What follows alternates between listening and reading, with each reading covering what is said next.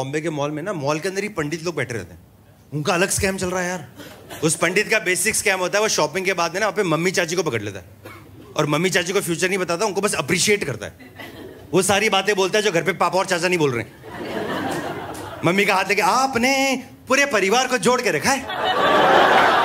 Mummy से हाँ हाँ मैंने तो जोड़ के रखा है। हाँ। छोटी बहुत तो चूतिया कुछ भी नहीं करती।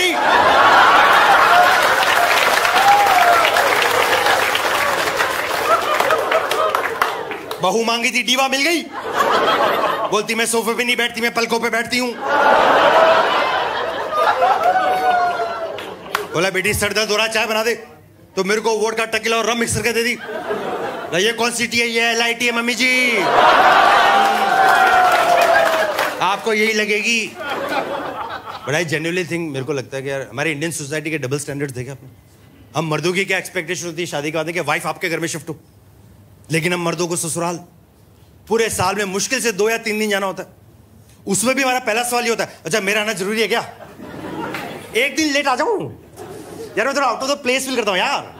And wife is like really मेरा शादी के बाद में पिन कोड चेंज हो गया है। लेकिन आउट ऑफ़ द प्लेस तू फील करता हो, हो, हो। मेरा शादी के बाद में सरनेम चेंज हो गया है मेरी जॉब चेंज हो गई। ये छोड़ मेरा पेट कुत्ता चेंज हो गया।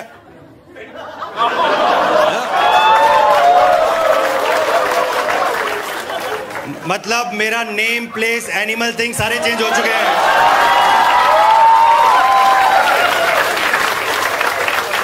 लेकिन आउट ऑफ़ द प्लेस जहाँ अपना फील करते हो हो हो ये लाइन मेरी वाइफ ने डलवाई है। और यार मुझे जेन्यूनली समझ नहीं आता, मर्द लोग ससुराल जाने में कतराते क्यों हैं यार? जबकि ससुराल में हमको लाइफ का बेस्ट ट्रीटमेंट मिलता है। वहाँ पे आप दामाद जी हो। आपको सिर्फ़ प्रेजेंट होने के लिए लिफाफा मिल रहा है। वो भी शगुन का? जबकि सौरभ, आपकी फैमिली को भी पता आप कितने बड़े आप शगुन हो।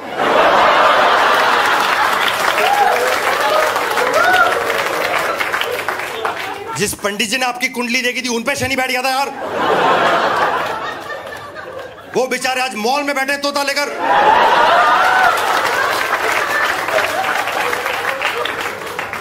और दोनों में एस्ट्रोलॉजर तोता है। ससुराल तो बेस्ट जगह होती है इस दमाद जी यार।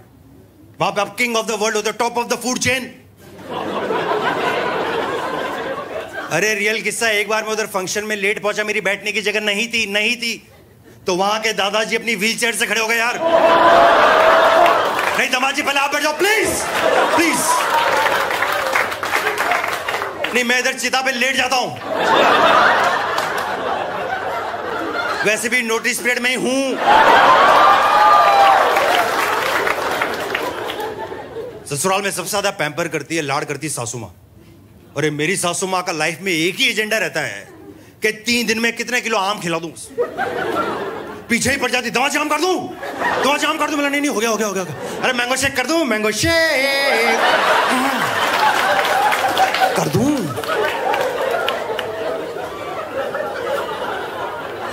बाय गॉड यार। मैंने तीन दिन में इतने ज़्यादा आम खा लिए थे। मैं सुबह मूतने के अंदर से माजा निकला, यार।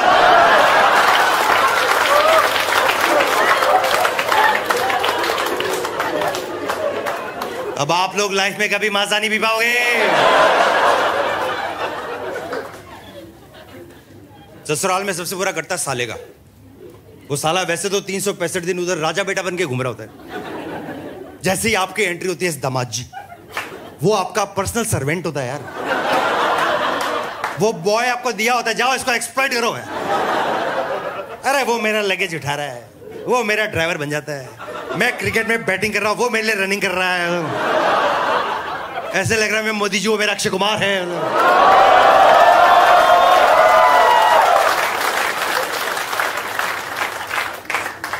इसलिए मुझे तो उल्टा लगता है। मुझे लगता है आदमी को ससुराल हर महीने जाना चाहिए, हर महीने।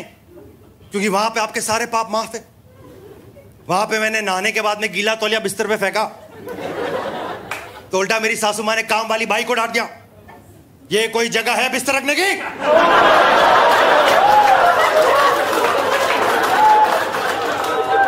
गीले तौले के नीचे बिस्तर कौन रखता है?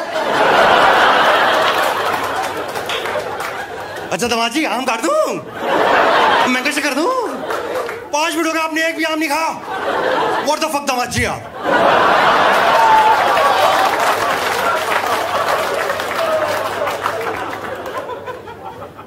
फिर मैं रात भर बैठ के सोचा, रात भर बैठ के सोचा, फिर मुझे समझ में आ गया कि हम मर्द लोग ससुराल में आउट ऑफ़ द प्लेस इसलिए फील करते हैं, क्योंकि वहाँ पे हमको रिस्पेक्ट मिलती है।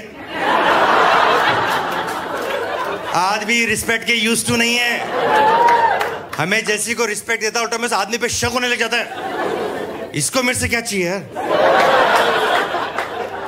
इससे मुझे गुड मॉर्निंग विपुल जी क्यों बोला है?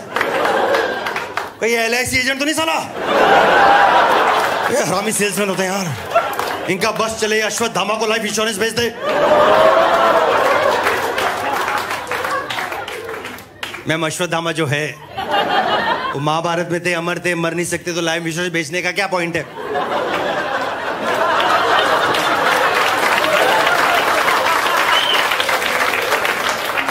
इट इज़ लाइक आपने गंधारी को थ्री डी गॉगल्स बेच दिए।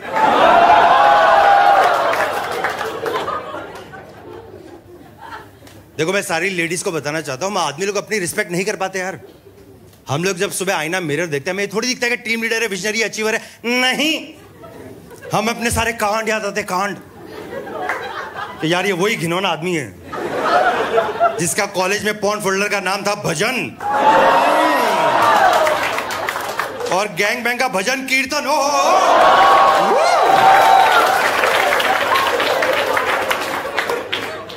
सौरभ भाई, मेरे पास कॉलेज में इतना ज़्यादा पॉन कलेक्शन था। मुझे नॉटी अमेरिका से ग्रीन कार्ड मिल गया था। और फेक टैक्सी से ड्राइविंग लाइसेंस तो सौरभ भाई, आपकी बढ़िया लाइफ चल रही थी इस दमाद जी। फिर कहानी में आता है ट्विस्ट दो साल बाद उस खानदान में एक छोटे दमाजी आते आपकी वैल्यू हो जाती कम। दो साल बाद एक और छोटे दमाजी, आपकी वैल्यू हर साल फिर आपकी वैल्यू गिरते गिरते law of diminishing marginal utility के हिसाब से। अब आप दामाद इंडस्ट्री के अडवाणी जी बन जाते हो। फूफा जी। फूफा जी, आपसे कोई कुछ नहीं पूछ रहा होता है। कुर्सी देके साइड में बिठा दे साला नेगेटिव आदमी, साला मूड खराब करता सबका है। मेरे को बोल रहा, खाने में मज़ा नहीं आया, सारे पकोड़े सेम साइज़ के नहीं थे।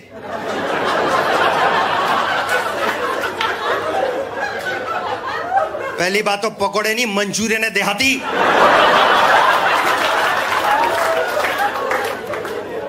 व्हाइट पास्ता काउंटर पे जाके बोल रहा, भैया, एक प्लेट छोटे छोटे पाइप दे दो पाइप है वो।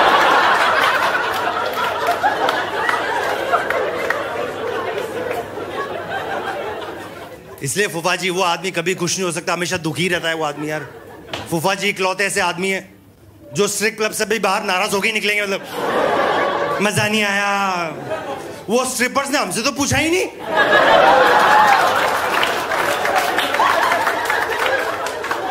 वो तो अपने पोल पे लगी हुई थी, लैब में ही नहीं आई।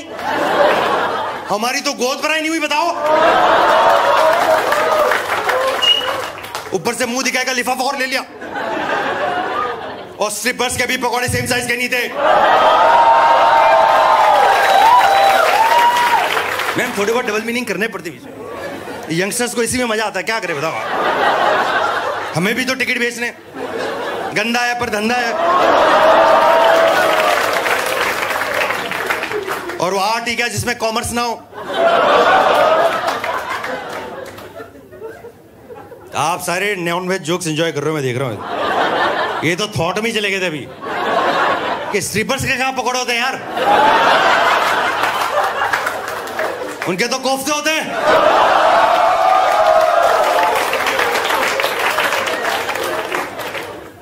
लेकिन जो ससुराल का जो बेस्ट पार्ट होता है, जो मैंने रियलाइज़ किया, जो बेस्ट पार्ट होता है, वो ये होता है कि वहाँ पे आपकी वाइफ बिल्कुल पावरलेस हो जाती।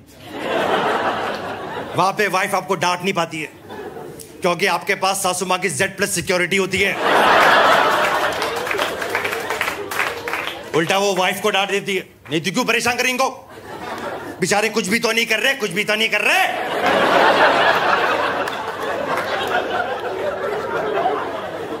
इन वाइफ इज़ लाइक हाँ यही तो प्रॉब्लम है, कुछ भी नहीं कर रहा है आदमी यार. जब सा इधर सांड की तरह लेटा हुआ यहाँ पे। हुकुम दे रहा, कोई मुझे चाय दे दो, कोई मुझे मठरी दे दो, कोई मेरे हुक्के का कोल चेंज कर दो। तो ये ससुराल आया, कोठे पे आया पे